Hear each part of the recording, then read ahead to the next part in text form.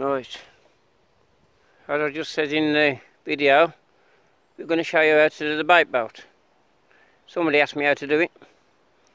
Uh, I'm putting the boat out there just off the island. There is some fish about. I just tried a zig, but without talking about zigs, I ain't good at zig fishing. But a fish did come off the island last night, so we will see how we do. The boat's loaded up with boilies and particle. Don't know how good the particle is because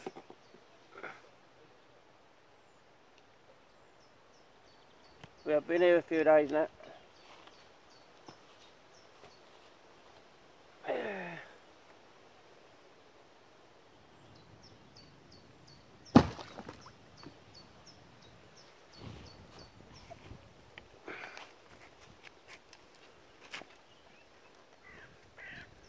You can see, there's the boat. And there's the remote. So all you do is put the boat forward.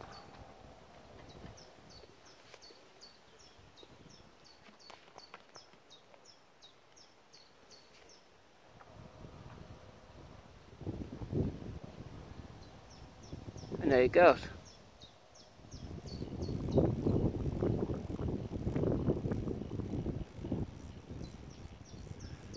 We're doing this off a bait, well a bait runner for now. We don't normally do it off a bait runner, but just for the video. Now the fish have been showing about six foot off the island, but they've been showing on the top, so I don't know.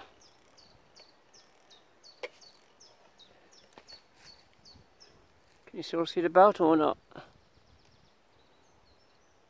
You just see that there, yeah? Just close to the island.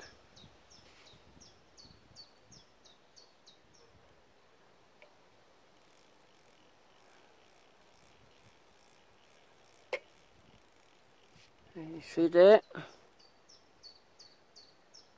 Just see it.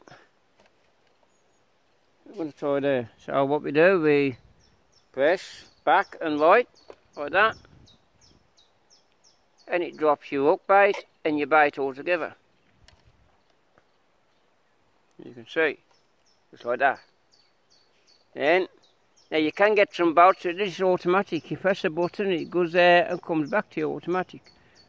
But I ain't got one of them boats. They're expensive. Then you just bring the boat back to you.